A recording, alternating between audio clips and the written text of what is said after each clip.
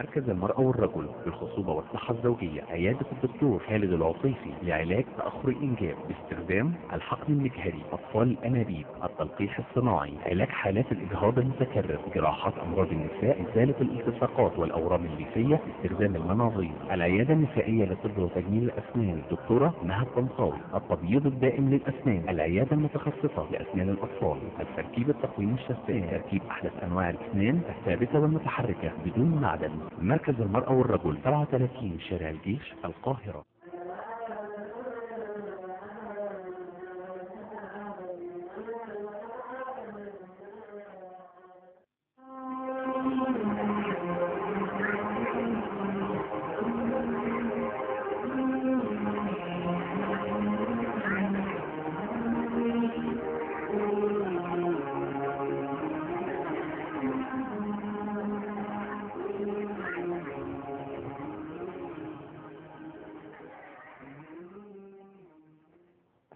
عليكم ورحمة الله وبركاته. أهلا بحضراتكم معنا في لقائنا الأسبوعي مع بسمة أمل. كما تعودنا في كل أسبوع بنتحدث عن أحد القضايا الصحية اللي بتهم كل امرأة مصرية وموضوعنا النهاردة وأحد الموضوعات اللي بتهم سواء سيدة متزوجة أو غير آه، متزوجة. سيدة لديها أولاد أم غير آه، آه، ليس لديها أولاد.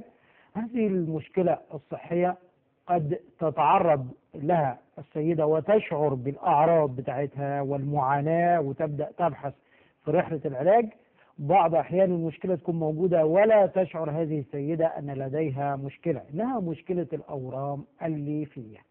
الأورام الليفية هي موضوعنا النهاردة أو أورام الرحم. الليفية وبعض الأحيان بيسموها لحمية وبعض الأحيان بيسموها لوفة لها مسميات كثيرة لكن هي أولا هي أورام حميدة.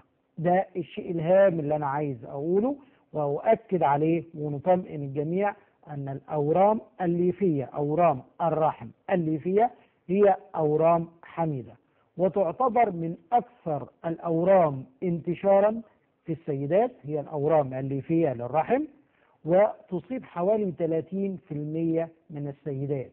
يعني حوالي تقريبا ثلث السيدات لديها هذه الأورام الليفية الأسباب بتاعة الأورام الليفية آه، آه، ليست آه، أكيدة ولكن كثير من النظريات بتفسر وجود هذه الأورام الليفية وجميعها بيتحد عند تأثير هرمون الإستروجين وهرمون الأنوثة ودوره في نمو هذه الأورام الليفية وده اللي بيفسره إنها غير موجودة قبل سن البلوغ وبتختفي تدريجيا بعد انقطاع الدورة الشهرية.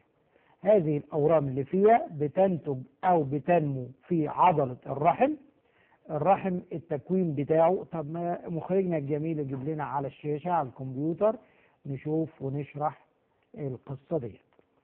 آه، اللي أنتوا شايفينه ده الرحم.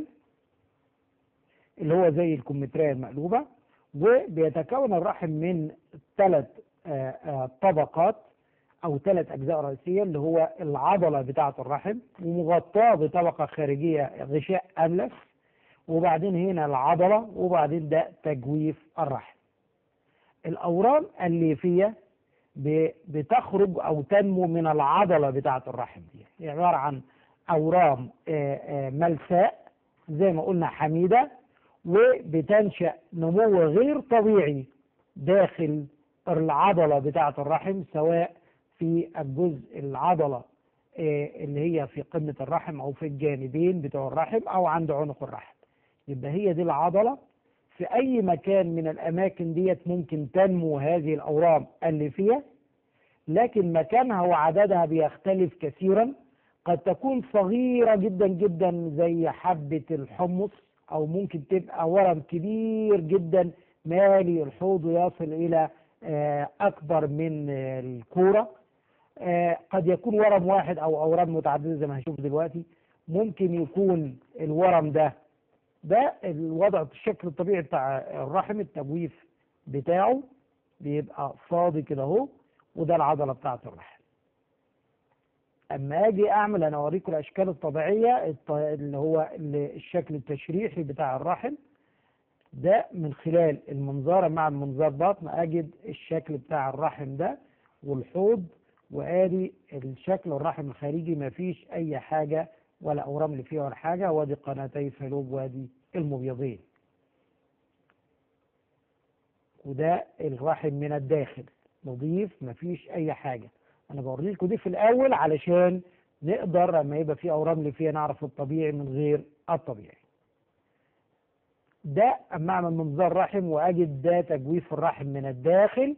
مفيش أي أورام ولا أي ألياف مفيش أي حاجة. ده اللي هو بيعشش فيه الجنين لو في حمل أو بيبقى موجود لو مفيش حمل بالطريقة ديت بطانه ملفاء هي اللي بتنمو تدريجيا وتنتج منها الدورة.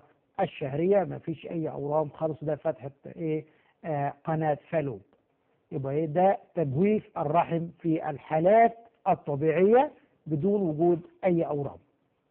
أما أجي أبص بقى على مصدر الأورام زي ما قلنا أهي الأماكن المختلفة بتاعة الأورام اللي فيها. قد تكون خارجة من عضلة الرحم لكن في الجزء الخارجي بتاع الرحم. يا دوب هي ادي عضلة الرحم وطالعة وعاملة زي طالعة بساق وموجوده خارج الرحم. ممكن تكون تتدلى داخل تجويف الرحم أساسها العضلة لكن تتدلى داخل تجويف. ممكن تبقى جوه عضلة الرحم. ممكن تكون جوه العضلة وجزء مندعج داخل تجويف الرحم. ممكن تكون منبعجة من عضلة الرحم وجاية في الأربطة اللي حوالين الرحم. ممكن تكون عند عنق الرحم. وبالتالي شايفين أهو ممكن تتدلى من عنق الرحم وتبقى جاية في المهبل. ممكن تكون هنا عند مدخل قناة فالوب وبالتالي بتضغط على مدخل قناة فالوب ودي الأورا والليف اللي ممكن يعمل تأخر في الإنجاب. ممكن يكون اهو في الأربطة اللي هنا وتضغط على عضلة الرحم وهو موجود هنا داخل تجويف الرحم. يبقى أماكن كذا. ممكن يكون العدد ده كله في سيدة واحدة. ممكن واحدة يكون عندها كل هذه الأورام الليفية أهو. يعني ادي أورام ليفيه دي عملية جراحية عملناها شايفين؟ ادي اهو أورام كثيرة اهو شايفين؟ ده عدد كبير ده ممكن بيوصلوا 25 بعض الأحيان يبقى 30 ورم ليفي مختلف زي حباية من حباية صغيرة إلى ورم كبير خالص. يبقى اذا هي أورام متعددة لكن هي أورام حميدة. دي أهم حاجة. إيه الأعراض بتاعة الأورام الليفيه دي. زي ما شفنا الأعراض هتتوقف على مكانها وحجمها. ممكن تكون السيدة لا, تج... لا, لا تشكو من أي أعراض على الإطلاق. يعني لو تخيل ورم ليفي زي ده. ده خارج من عضلة الرحم من الرحم من الخارج وفي الحجم ده مفيش أي آثار وبالتالي ممكن السيدة لا تعاني من أي أعراض على الإطلاق وبنعرفه بالصدفة عن طريق الموجات فوق الصوتية. أما بتبحث مثلا مشكلة تأخر إنجاب أو زيادة في الدورة الشهرية أو أي أسباب أخرى. أما الأعراض اللي ممكن تعاني منها السيدة ممكن يكون زيادة في كمية الدورة الشهرية وده قطعا هيبقى في السيدة اللي هي عندها عدد أورام متعددة بتأثر في عضلة الرحم وبتزود المساحة بتاعة تجويف الرحم أو موجود داخل تجويف الرحم وبالتالي بيبقى في نمو زائد علاوة عن التغيرات الكيميائية المصاحبة للورم الليفي وبالتالي بيبقى في زيادة في كثافة بطانة الرحم وزيادة في كمية تدفق الدم أثناء الدورة الشهرية وممكن يحدث اضطرابات في هذه الدورة الشهرية. ممكن يحدث نتيجة نمو الرحم وتقل الرحم بيبقى فيه ألم أسفل الظهر ألم في الحب.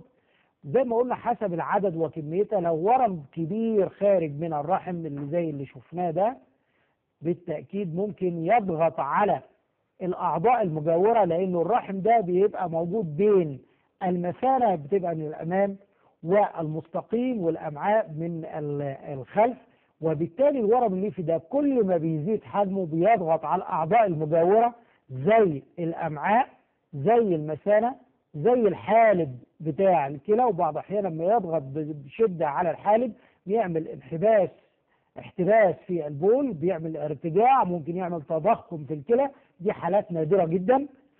لو الورم الليفي ده موجود متدلي من عنق الرحم هيبقى في نزيف أثناء العلاقة الزوجية. ممكن يبقى في ألم أثناء العلاقة الزوجية.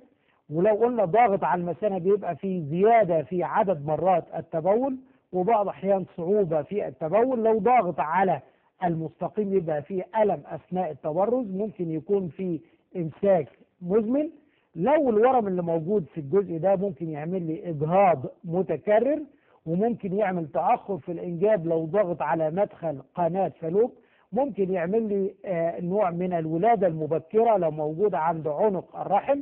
ممكن يعمل تأخر في نزول الرأس بتاعة الجنين ويعمل تأخر في المرحلة الثالثة أثناء الولادة لو موجود عند عنق الرحم يبقى إذا الأعراض مختلفة وتختلف حسب مكان الورم الليفي حسب عدد هذه الأورام الليفية وحسب حجم الأورام الليفية لكن آآ آآ التدخل بتاعها طبعا قطعا هيتوقف على عوامل كثيرة.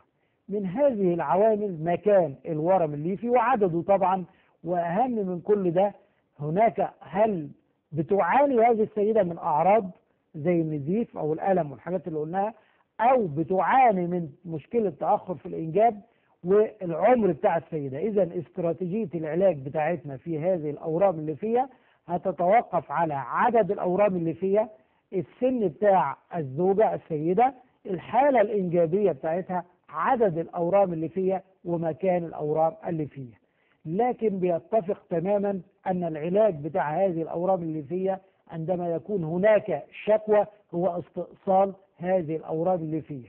لكن طريقة الاستئصال بتختلف قطعا حسب مكانها وعددها. على سبيل المثال يعني التدخل الجراحي لاستئصال أورام ليفية متعددة زي كده هو اللي بينصح فيها لما يبقى كمية كبيرة من الأورام الليفية متعددة بالطريقة ديت.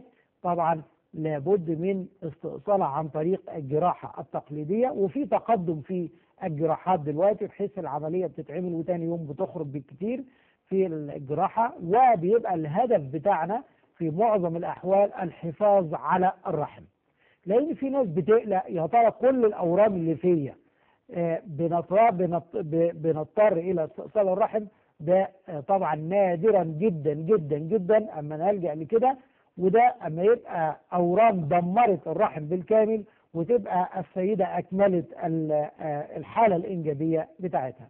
لكن معظم الأورام اللي فيها ديت بنستأصلها ونحافظ على الرحم ونحافظ على الحالة الإنجابية وقدرتها على الإنجاب. ده ورم ليفي كبير استأصلناه عن طريق الجراحة. أما يبقى ورم ليفي بالطريقة ديت في الحجم ده ده قطعا هيعمل لي بيبقى الشكوى زيادة في كمية الدورة الشهرية وبعض أحيان بيؤدي إلى تأخر في الإنجاب خاصة لو جه الجنين بيعشش في الجزء ده فهيجد إنه ده بيؤدي إلى تأثر تأثير على تدفق الدم في عضلة الرحم. بعض أحيان السيدة بتعاني من تأخر في الإنجاب أو حدوث إجهاض مبكر. التدخل في الحالة دي هي استئصال هذا الورم الليفي من خلال منظار الرحم وده منظار بدون فتح اطلاقا ده من خلال عنق الرحم بنضع التلسكوب وبيبقى الات من فتحه أخرى والالات ديت زي ما هشوف دلوقتي بتبدأ تقطع الورم الليفي ده وتحافظ على بطانة الرحم علشان يحدث الحمل خاصة في الحالات اللي عايزة إيه؟ حمل. أدي ورم ليفي زي الورم الليفي المتدلي ده؟ آه ممكن نستأصله عن طريق برضو آه المنظار الرحمي زي ما هشوف دلوقتي. ورم زي ده. الورم اللي في عضلة الرحم ده لو مؤدي إلى زيادة في كمية الدورة الشهرية أو معاناة بالنسبة للسيدة ممكن نستأصله عن طريق فتح آه البطن خاصة عندها مصاحب لأورام متعددة أخرى.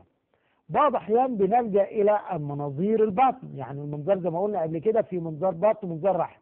منظار رحم اللي زي ما هنشوف دلوقتي اللي هو إزالة ورم من داخل تجويف الرحم لكن منظار البطن هو استئصال اللي هي الأورام اللي زي كده. يعني لما أجد أورام اللي فيها هي متعددة شفت أنتم من دقيقتين آه، آه، الرحم من الخارج من خلال منظار البطن سليم تماما وما فيش الأورام ديت. تخيلوا بقى أما تبقى الأورام اللي فيها أهي موجودة في ال- الرحم أهي طالعة من الجدار الخلفي بعض احيان الأورام اللي فيها ديت لو مؤثره أو منبعجة داخل تجويف الرحم بتأثر على الإنجاب لكن في حالات أخرى لا تؤثر على على الإطلاق ولا تشكو السيدة اطلاقا.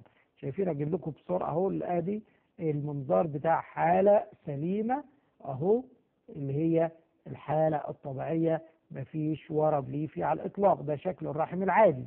لكن لما يبقى عندي أورام ليفية وأعمل منظار أجد المنظر ده. فبالتالي ممكن نستأصله عن طريق وادي وحالة أخرى أهو ورم ليفي هنا. لكن بنستأصل لما يبقى بيؤدي إلى ضغط على قناة فالوب زي الجزء ده. بنشيله. ده التلسكوب اللي هو بندخله. آه، ده آه، منظار رحم بيتعمل والسيدة بتخرج في نفس اليوم. مفيش فتح على الإطلاق. من خلال عنق الرحم بندخل بتاخد بنج كلي وده التلسكوب. ومن خلال فتحة صغيرة بندخل الآلات بتاعتي. وآدي أبدأ أشيل الورم ليفي زي ما هشوف دلوقتي أهو. آدي. اللي تجويف الرحم دخلنا فيه ده فتحة قناة فالوب وآدي الورم الليفي أهو. هاجي بالآلة بتاعتي موصلة بتيار كهربائي. وأبدأ أستأصل. الورم الليفي ده كان لسيدة بتعاني من حدوث إجهاض متكرر وزيادة في كمية الدورة الشهرية. قطعا الجزء ده بيأثر على أن يقر الجنين داخل الرحم بيتشال وتبدأ الأمور بتبقى طبيعية بالنسبة للست دي حالة أخرى أهي برضو نجيبها تاني أهي. بتبقى آه، المنظار ده زي ما قلنا ما فيش أي فتح على الإطلاق. ده من خلال آه، آه، ال- بتاخد بنج كلي وبنستأصل الورم ده. وآدي حالة أهي أخرى أهو. يبقى إذا ده فتحة آه، آه، قناة فالوب في ناحية والفتحة الثانية متغطية اهي أهي أدي الفتحة الثانية أهي. وأدي الورم الليفي موجود. طبعا الحالة زي كده بتبقى بتعاني من نزيف نيجي نعمل بقى آه، موجات فوق صوتية اللي هو السونار بنجد الورم ليفي يبقى ال- ده التشخيص الأساسي بتاع الأورام اللي فيها من خلال الفحص ومن خلال موجات فوق الصوتية والأشعة المقطعية المختلفة حسب آه، آه، الشكوى بتاعة المريضة. بنبدأ نشخص الحالة ونبدأ نبني استراتيجية العلاج زي ما قلنا إن هي بتتوقف على زي ما قلنا آه، سن الزوجة والحالة الإنجابية بتاعتها ومكان وعدد الأورام اللي فيها. وفي تقدم كبير جدا جدا سواء في الجراحات التقليدية أو في الجراحات الميكروسكوبية الخاصة. شايفين أدي شلت ال- الورم ليفي وأصبح تجويف الرحم سليم تماما مفيش أي إيه مشاكل بالنسبة له. آه يبقى إذا الأورام الليفية ديت هي أورام آه حميدة. آه مفيش أي قلق منها. في نسبة نادرة جدا جدا ممكن تتحول إلى آه آه أورام خبيثة نادرا جدا جدا. ونسبة قليلة جدا اللي هي بتتحول إلى آه، آه، ورم خبيث نادر جدا جدا لكن معظم هذه الأورام هي أورام حميدة. اللي آه، بنتعرف عليها زي ما قلنا من خلال الشكوى المريضة وزي ما قلنا نادرا جدا أما أجدها قبل سن الثلاثين لكن في معظم الحالات بتبقى في السن الإنجابي اللي هو بيبقى من حوالي آه، 30 إلى 45 سنة. تدريجيا لو السيدة عندها الأورام اللي فيها بتبدأ حجمها بيقل تدريجي بعد انقطاع الدورة الشهرية آه، إلى أن تضمر. لكن الأورام اللي فيها لو حجمها كبير جدا زي ما قلنا ومتعددة آه، بتبدأ آه، لا تختفي تماما لكن بتبقى موجودة ويبقى قرار العلاج يتوقف على شكوى المريضة. آه، لو آه، العدد آه، كبير لكن لا يوجد شكوى على الإطلاق بنتابعها. لكن لو في شكوى زي مغص متكرر إمساك آلام أثناء العلاقة الزوجية تأخر في الإنجاب نزيف هو ده اللي بنبدأ التدخل. زي ما قلنا وأسلوب التدخل حسب آه، العدد والعوامل الأخرى اللي أشرنا ليها. نستكمل بعد الفاصل.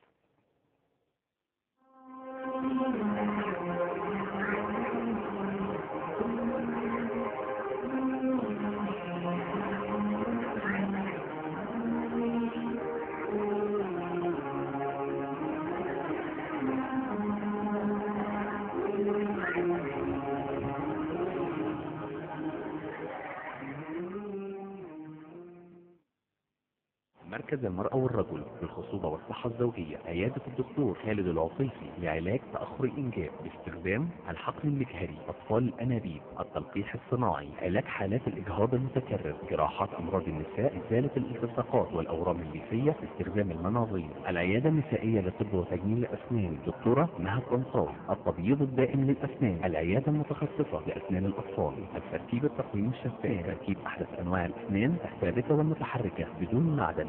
مركز المرأة والرجل 37 شارع الجيش القاهرة.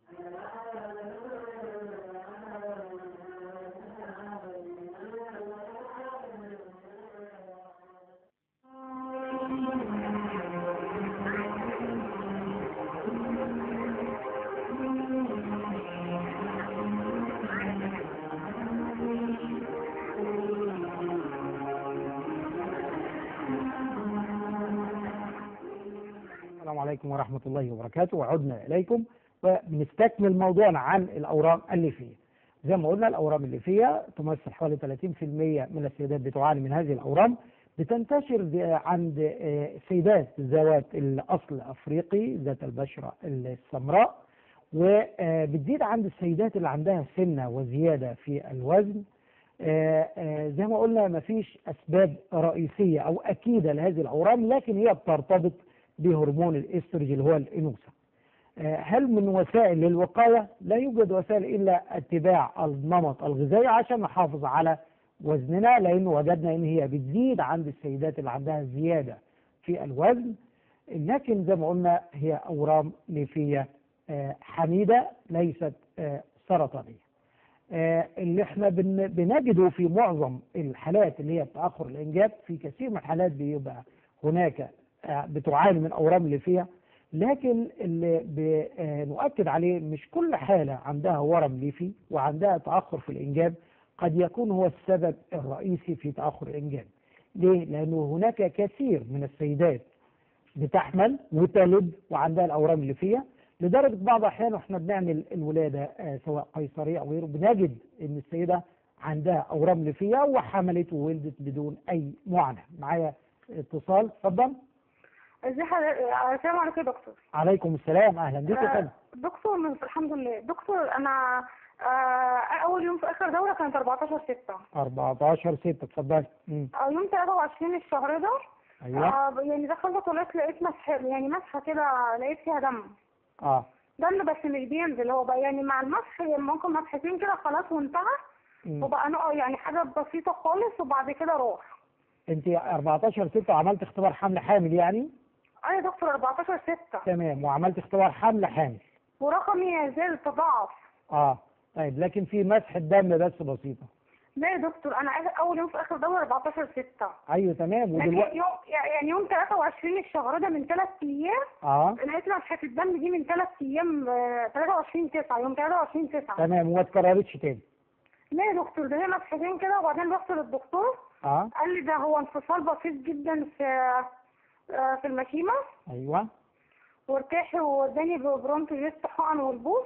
أيوه. لأن أنا كنت وقفت ال وقفت في آخر الثالث وبعد كده قال لي لأ كملي. أيوه. كل الشهر الرابع ده الحقن واللبوس. تمام. طيب. تمام معايا. دكتور. آه في لسه دكتور. وبعدين راح رحت الدكتور تاني يوم بقى بس دكتور استشاري يعني وكده عمل لي رباعي الابعاد على الجنين كان 14 أسبوع. أيوه. وقال لي المشيمة على الجنب وما فيهاش انفصال وزي الفل وكل حاجة كويسة. بس ده مجهود زايد ممكن يعني انت بتبذلي مجهود. وعايزة بقى يا دكتور أعرف آخد الماتيرنا إمتى وقيادة السيارة يعني أنا بسوق بسوق عربية. آه. بس يعني مش بطلع يعني بره عشان ما يبقاش مطبات جامدة في المنطقة يعني كده. أيوه. بجيب الطلبات بتاعتي فالقيا- أنا عايزة أسأل عن عن قيادة السيارة. تمام. وعن دكتور إن بس يا دكتور بس أعرف الماتيرنا ابتديها إمتى وبس و... إيه اللي تبدا الم... إيه اللي تبدايه إمتى؟ برشام اللي هو الماتيرنا كنت باخده مو- بي كان آه آه معايا. يعني آه ال- ال- ال- ال vitamins يعني. ماشي. أيوة. اتكلمي معايا اجاوبك أهلا بيك يا فندم. آه، مدام منى اللي, بتعانيه اللي هو بعض اللي هو نقط الدم دي بسيطة جدا وطالما ما اتكررتش ما نقلقش منها وخاصة إنها لا غير مصاحبة بأي أعراض أخرى زي مغص متكرر والحمد لله اطمئنيتي من خلال آه، آه، فحص الطبيب وده أهم حاجة ان يبقى في عرض لابد الاطمئنان من خلال الطبيب وعامل موجات فوق الصوتية. السؤال الآخر بتاعك اللي هو موضوع تسوق السيارة في عند 14 أسبوع يا دوب الرحم بدأ يخرج من الحوض يعني حجمه لسه صغير يعني ما يبقاش في عوارض بينك وبين السيارة بين واثناء القيادة. مفيش مشاكل من قيادة السيارة في الوقت ده. ال- الأقراص اللي أشرت ليها أو ال multivitamins أو الفيتامين ممكن تبداي فيها آه، دلوقتي. ممكن تبدأي تاخدي كمان أقراص الكالسيوم أو كبسولات الكالسيوم مع اتباع طبعا. القواعد الغذائية اللي هي بتاخدي الوجبات ذات إيه اللي بتحتوي على آه، وجبات آه، متكاملة فيها كمية من الكالسيوم زي مصادر اللبن والجبن والسمك واللي فيها آه، الحديد زي الخضروات واللحوم الحمراء. وبنوصي طبعا بتبقى وجبات متعددة لكن غير ما تبقاش ممتلئة علشان ما يبقى لأنه الهضم بيبقى بياخد وقت أطول أثناء الحمل فلا نوصي بالشعور بالامتلاء وأتمنى لك كل التوفيق. مع اتصال آخر. السلام عليكم. أهلا بيك يا فندم. لو سمحت يا دكتور أنا كنت مكلمة حضرتك قبل كده وحضرتك قلت لي أصلا طريقة لحالتي لأن أنا عاملة ربط الحقن المجهري. إيه، آه. وعملته من حوالي أسبوع. بس بعد وجمدت أجنة وكده فبعدها بيوم اتصلوا عليا قالوا لي في فشل في تجميد الأجنة. والصراحه من وقتها وأنا حالتي النفسية يعني إيه؟ لا أنت نقلت أجنة يعني نقلت فعلا. أيوه أنا نقلت أجنة يوم ال يوم ال من أسبوع. يوم الثلاث اللي فات. طب جميل يعني أنت زعلانة على الأجنة اللي كان المفروض تتجمد وما اتجمدتش. ده- طب حاجة اللي إيه؟ أنا اللي مش ملهاش دعوة باللي فشل تجميدها يعني؟ لا اطلاقا أصل مش معنى. نسبة الهرمون عالية فما كانش هتنفع إنها تتجمد. آه لا آه ما تقلقيش اطلاقا من القصة ديت لأنه مش القاعدة الأساسية إن كل واحدة بنجمد لها أجنة. ده لو في زيادة آه آه في آه، زياده على وهم. اتصلوا عليا وقالوا في أجنة ينفع إنها تتجمد. ماشي؟ فأنا رحت يوم النقل فنقلت اجنه مم. ودفعت فلوس التجميد وكده فاتصلوا بعديها بيوم قالوا ال- تعالوا خدوا الفلوس بتاعتكم علشان الاجنه اللي هتجمدوها مش هتصلح آه. للتجميد بالع... ده بالعكس الموضوع ده مطمئن من ح- من ناحيتين اولا آه آه كون إن من المبدأ في اجنه زيادة للتجميد معنى كده إن كان في اجنه جميلة جدا اتنقلت وكان في زيادة لكن أنا الاجنه صاحبه 20 بويضة آه. نسبة البويضات عندي عالية جدا آه لدرجة إن الدكتور نفسه يعني قال لي أنا ما أقدرش أقول لك عددها كام. آه هو عموما آه آه الحالة كويسة مطمئنه وما تقلقيش اطلاقا إن الأجنة اللي كان المفروض تتجمد آه ما كانتش مناسبة لكن ده بي- بيدل على إنه في كان أجنة زيادة يعني اتنقل لك أجنة ممتازة. فما تقلقيش اطلاقا وأتمنى لك كل التوفيق وإن شاء الله بعد أسبوع تعملي اختبار الحمل ونسمع أخبار جميلة إن شاء الله. نستكمل موضوعنا. يبقى اذا وسائل طب التشخيص زي ما قلنا بتاعة الأورام الليفيه حسب آه، آه، زي ما قلنا أهم حاجة اللي هو الموجات فوق الصوتية الفحص الإكلينيكي من خلال الطبيب والموجات فوق الصوتية وبعدين بيبدأ استراتيجية العلاج.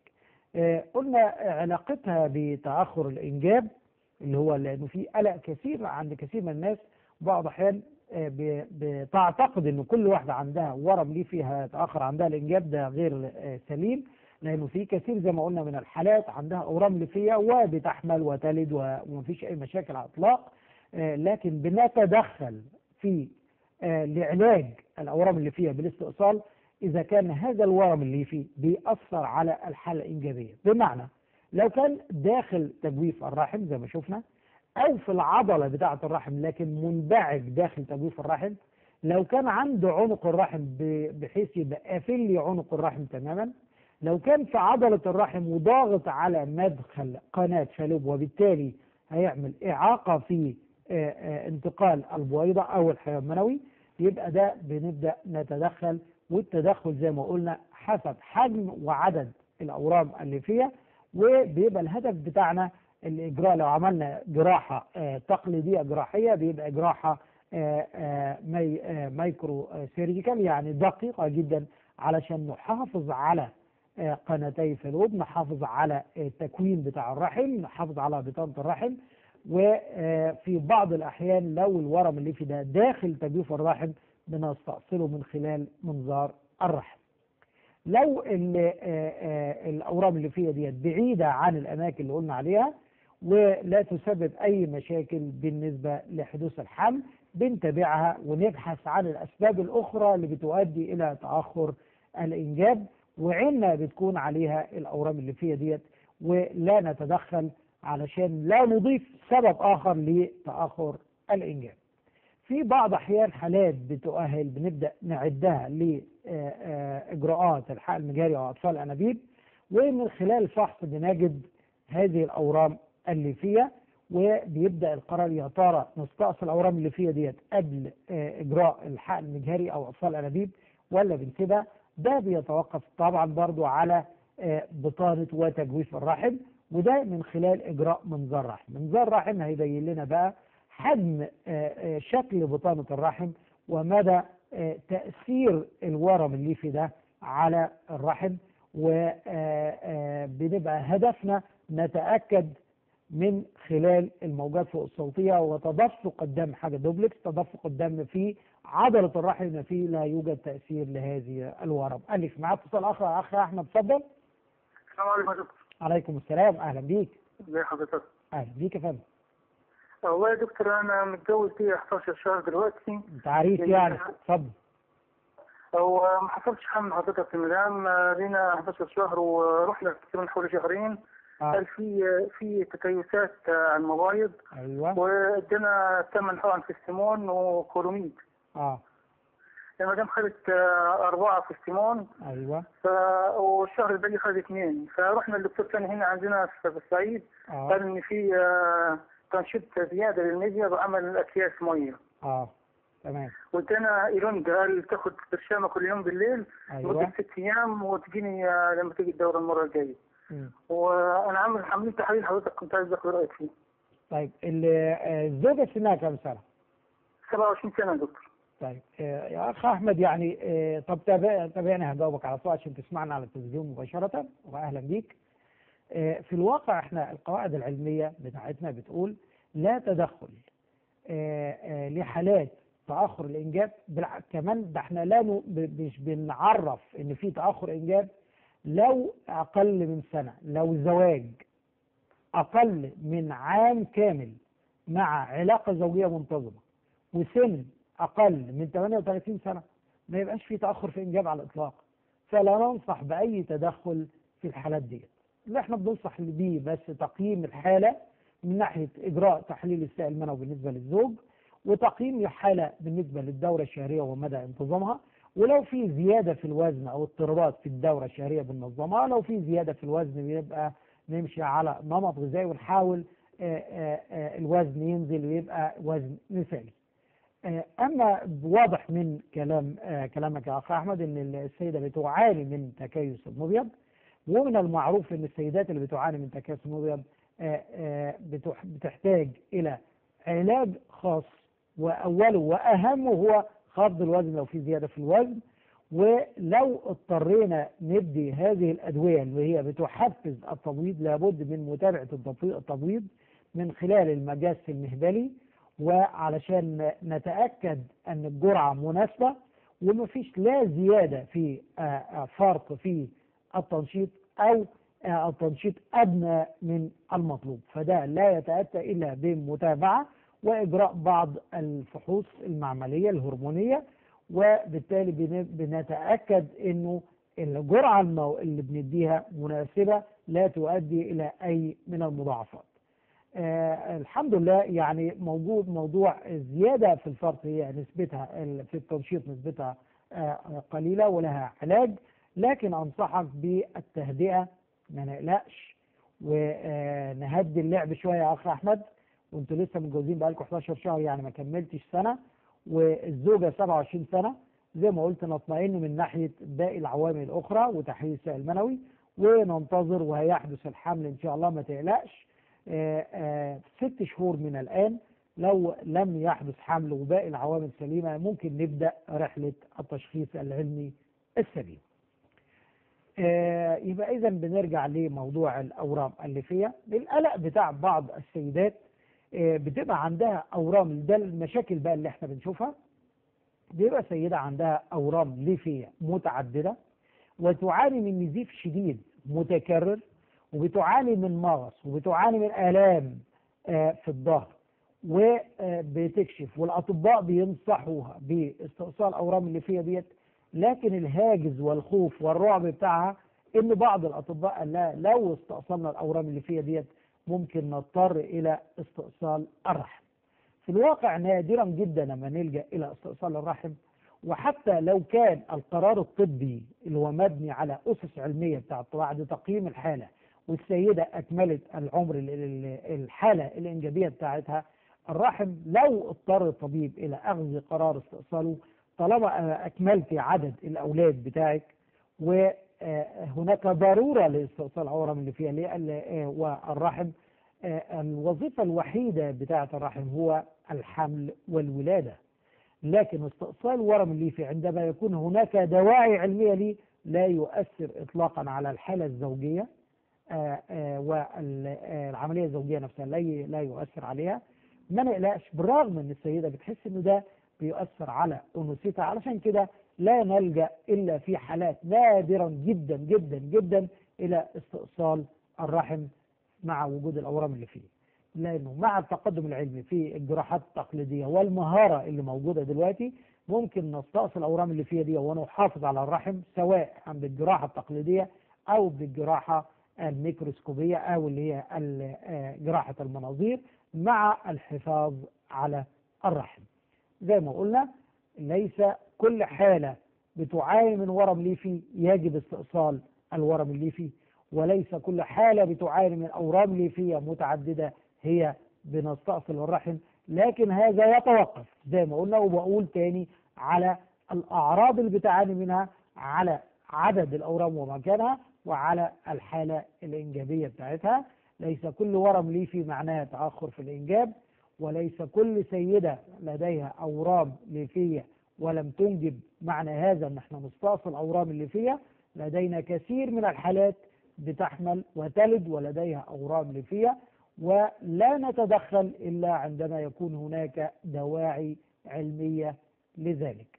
من الوسائل الحديثة لعلاج هذه الاورام الليفيه لكن لم لم يتضح مدى نجاحها الكامل هو آه، غلق أو سد الشريا- الشريان الرحمي اللي بيغذي هذه الأورام اللي فيها على أساس مع الوقت بيحدث ضمور لكن ده بيبقى في الحالات اللي بيستعصي لها الجراحات سواء تقليدية أو ميكروسكوبية أو يوجد دواعي آه، علمية لهذا الاستعمال. بعض الأحيان بيبقى عملية آه، استعمال بعض التدخلات لإزالة الأورام الليفية ديت لكن آه، يبقى القاعدة الذهبية هي الاستئصال الكامل للورم الليفي عندما يكون هناك دواعي لذلك. آه، في نهاية حلقتنا أتمنى للجميع كل التوفيق وأتمنى لكل أسرة تبحث عن الإنجاب أن تجد ضالتها لكن اللي بؤكد عليه في كل حلقة وفي حلقتنا اللي هو البحث بالأساليب العلمية السليمة. وسائل العلاج لابد تبنى على البرهان والدليل ليس اجتهادات وليست خبرات غير مبنية على الأدلة العلمية. وفي نهاية حلقتنا نستمع وننصت لهذه الآيات الكريمة على وعد باللقاء الأسبوع القادم إن شاء الله.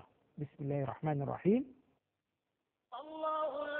خلقكم ثم رزقكم ثم يميتكم ثم يحييكم هل من شركائكم من يفعل من ذلكم من شيء سبحانه وتعالى عما يشركون.